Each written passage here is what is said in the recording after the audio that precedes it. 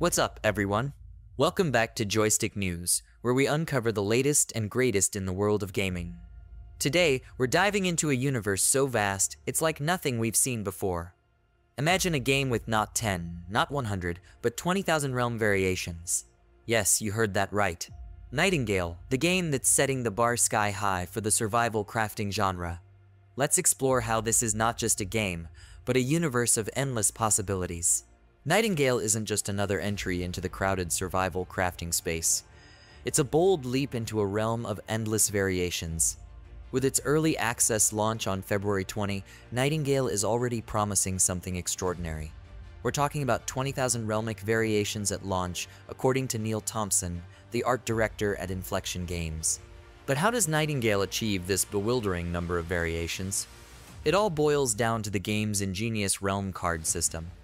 Players can use these cards to craft realms with unique conditions, from forests and deserts to swamps, each with their own secrets and challenges. When I first heard about the realm cards, I was skeptical. How could any game offer this level of customization and still maintain depth? But after seeing it in action, I'm a believer. This system isn't just innovative, it's revolutionary. It hands the reins of the world's very fabric over to us, the players, and says, go wild. And that's exactly what we'll do. At launch, Nightingale will feature three primary biomes forest, desert, and swamp. But the real magic happens when players start to mix and match the biome and major cards, and then tweak them with minor cards.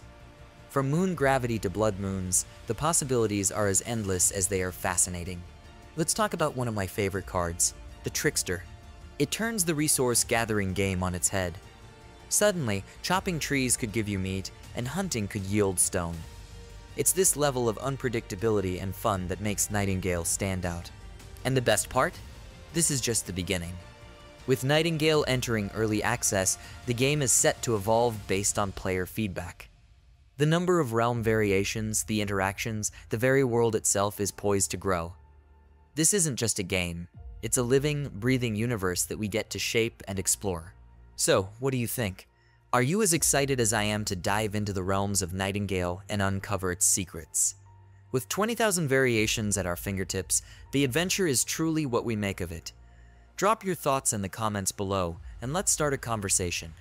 If you enjoyed this deep dive, hit that like button, subscribe for more content, and ring the bell to never miss out on the gaming universe's next big thing. Until next time, keep gaming, keep exploring,